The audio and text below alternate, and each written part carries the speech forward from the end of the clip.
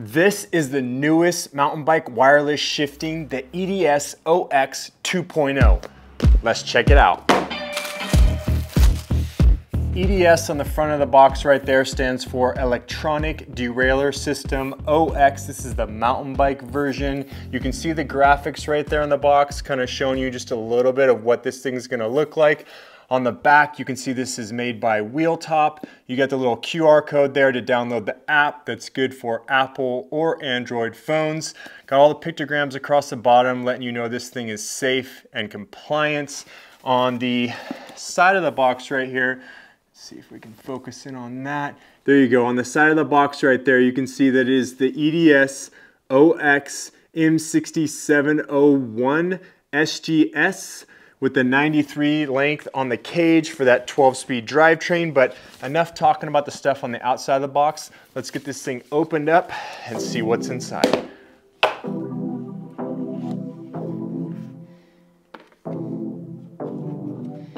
Opening up, you can see this little foam on the top right here, keeping this thing nice and protected, packaged all good. I'll use that to kind of set the parts and pieces out on actually.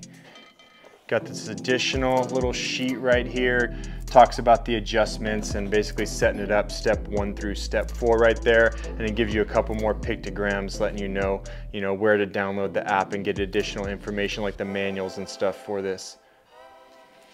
And there you go inside the box.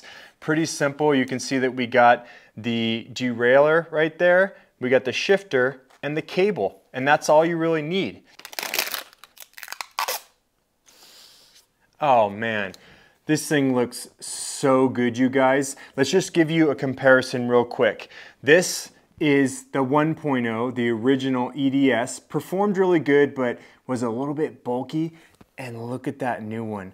Just side by side real quick. Look at how much sleeker that new one looks. We'll do a comparison a little bit later in this video and in future videos. We're definitely gonna do a little bit closer comparison on the 1.0 versus the 2.0. But right now, it's all about this 2.0. Let's see something real quick. Is this thing, is it already paired up and ready to start shifting? Uh-oh. It's not shifting. Okay, I'm gonna go ahead and get this thing charged up. Let's, let's just show you real quick where the charging is on this. On the back right there, you got that opens up and you got this little magnetic spot that the charger just kind of hooks right into and then you can, you know, charge it when it's on your bike. Doesn't have a removable battery, so that is the one knock, but it's got this nice long charging cable right here. We're gonna get this thing plugged in, charged up, and then once it's all charged up, we'll continue and go over the video because I want you guys to see it shift, right? You wanna see it shift in the video. Of course you do.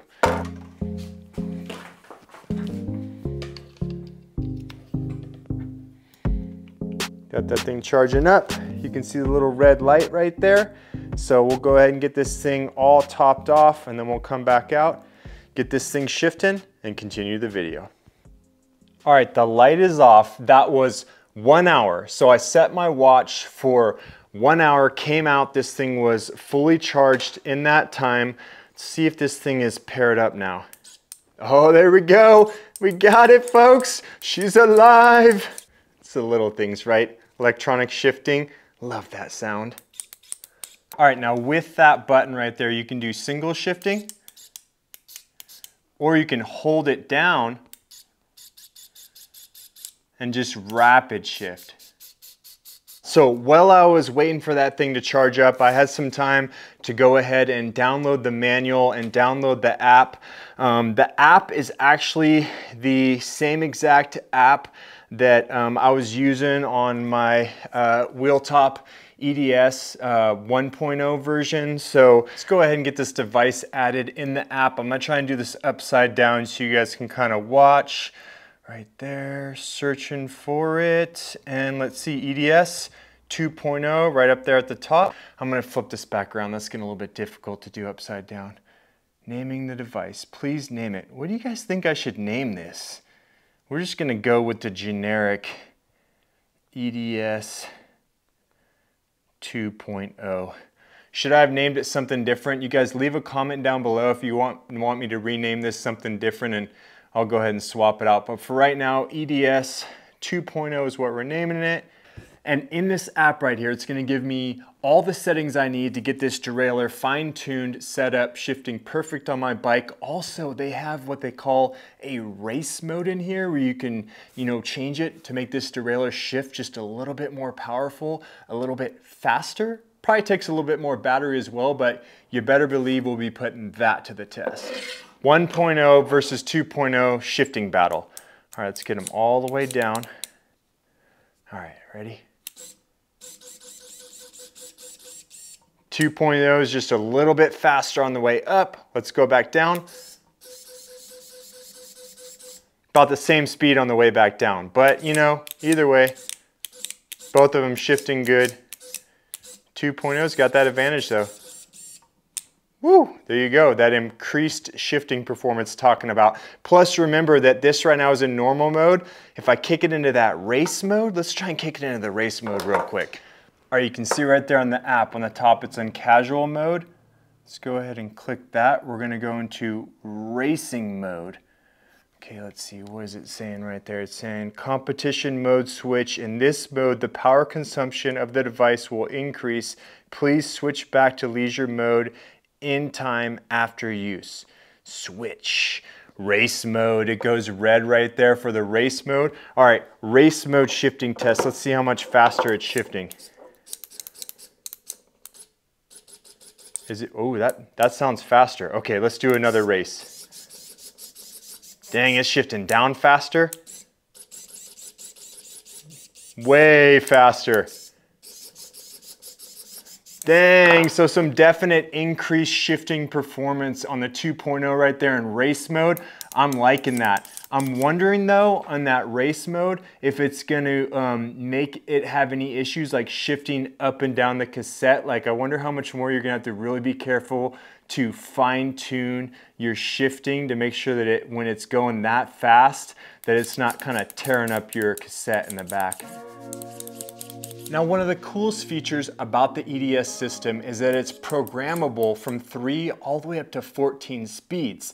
And what that means is that yes, of course it's going to work for 12 speed drivetrains, but even if you have like an 11 speed drivetrain, 10 speed, 8 speed, like it's going to work for all of those. This thing's compatible, you know, with any kind of derailleur hanger. So whether you have the UDH or something different like I have on some of my bikes, you're gonna be able to run this on your bike and you can use this whether you have Shimano, SRAM, basically any kind of drivetrain. So this really opens up wireless shifting to so many more riders out there.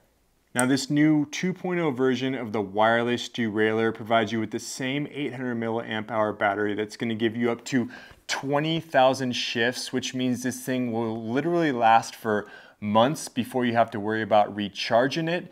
The uh, whole system right here is completely waterproof, so you're not gonna have to worry about taking out in the weather.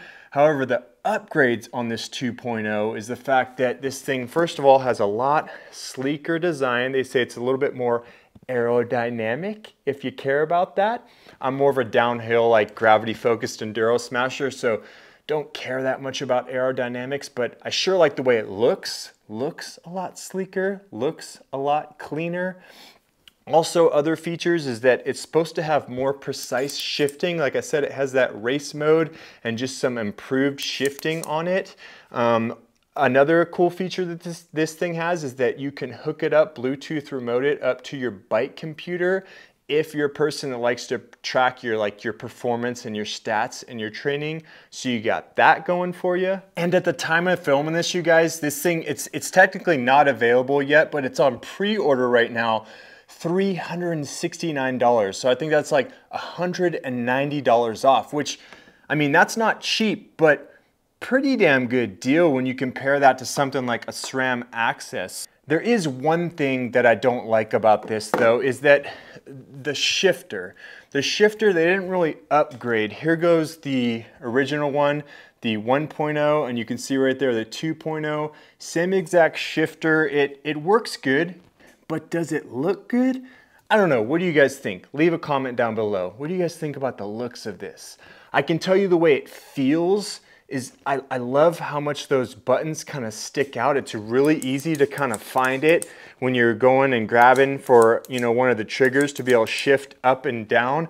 And that is one thing I've, you know, had problems with with like the SRAM AXS or something in the past is not liking the way the shifter feels on my thumb. So it definitely feels good, but maybe doesn't look that good.